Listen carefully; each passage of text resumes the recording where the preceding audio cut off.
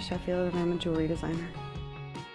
I was raised in New Mexico. I, I, lived there for most of my life and I started out on an Indian reservation in the northwest corner.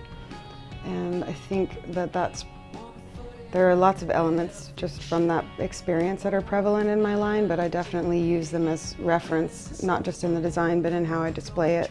I think what we used in this room very much indicates that with the sand and the, and the feathers and all of the little, different little displays and sort of like architectural layouts of the jewelry.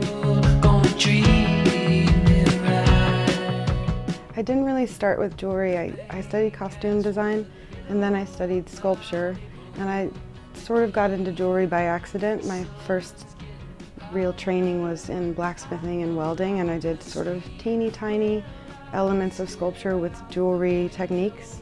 I'd been doing fine jewelry for about four years and I started with a little bit of runway here and there for different designers that I've worked with um, and then my own brand.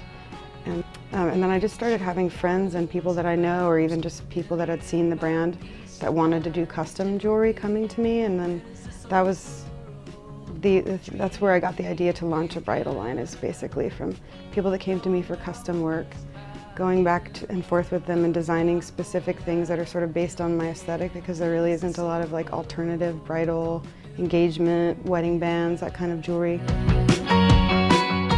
I really wanted to, to invent something new and I think that that's what I've always tried to do with jewelry. I think coming from a sculptural background, I've always wanted to kind of take what a, whatever the sort of confines of it really are like in, in terms of materials or how they're used and just really like flip them upside down.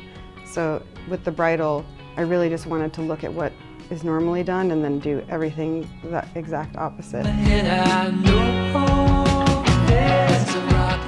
I love the Standard. It's one of my favorite places to stay. Everybody that works at the Standard is amazing and inspiring. I love the location of the one in New York City and um, I work with them. We sell my line Bing Bang in the gift shop.